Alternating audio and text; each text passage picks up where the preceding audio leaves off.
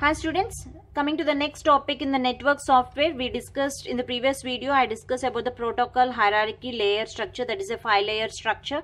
Now coming to the design issues of layers. So what are the design issues of layer? The design issues of layers are first we have to identify identify the sender and receiver so the first design issue uh, of the layer so whatever the layers will be taken in the network software. So our, design issues here is first you you have to identify the sender and the receiver.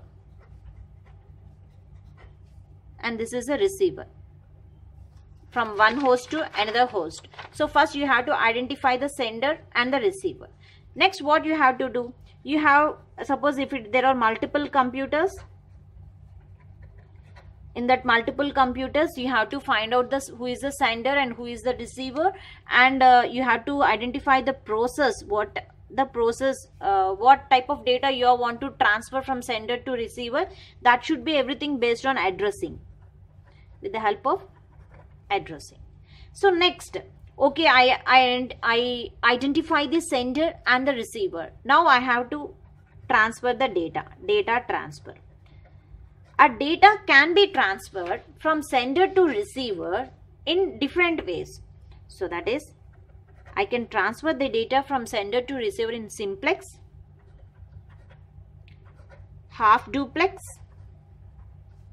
or full duplex communication So in a network software, I can transfer the data from one layer, uh, from sender to receiver in simplex way or half duplex way or full duplex way communication. Okay. So next, the uh, the logical channels per connections is everything based on the priorities. And next design issue for the layer is uh, error control. So this is one of the important uh, control we have to be careful error control. So what if suppose any error is coming from any one of the layer so in any one of the layer some error is raised so you have to first detect the error error detection by using error detection method. After that you have to correct the error by using error correction. So the next design issue is you have to error control. Error has to be detected. Next you have to correct the error. Next okay i already i identify the sender and receiver and i transfer the data by using any one of the technology communication and i selected the priorities and if there is error is uh, there i had checked the errors and next i have to pass the sequencing of pieces.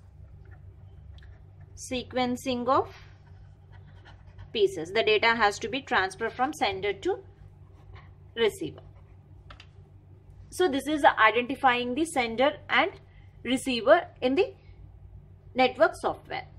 Thank you.